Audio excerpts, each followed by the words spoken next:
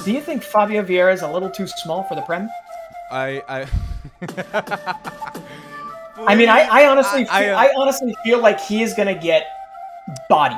He I mean, is- I feel like he is going to get I'm- destroyed, and there will be a transition period